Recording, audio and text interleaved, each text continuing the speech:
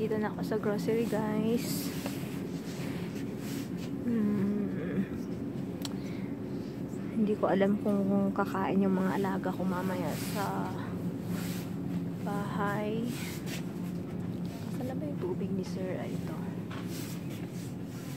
Kuha muna ako ng apat kasi mabigat po. Apat muna or anim.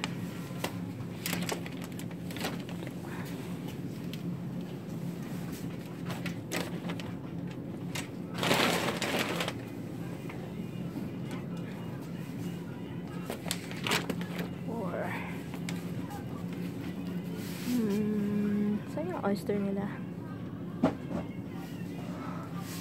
Ang hirap kasi puro friends. Walang English. Friends ang nakasulat. Ah. Chutney.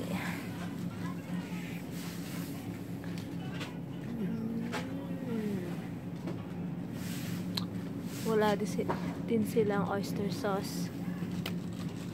Ito na lang.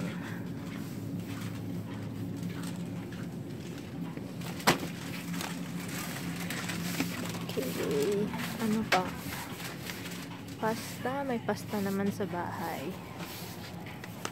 Ang konsumo ko. Ang sarap ng noodles nila dito. Hmm.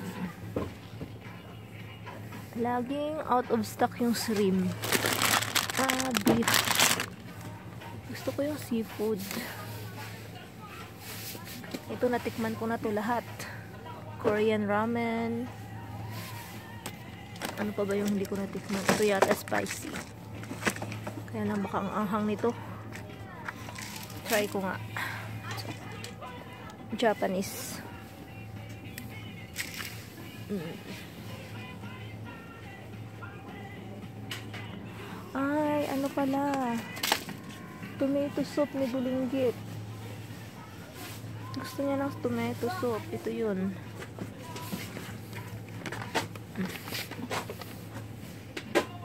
Yan, favorite niya. Tomato soup. Okay. Pag may nakalimutan ako, balik na lang mamaya. Ay, hindi nila nakita kita.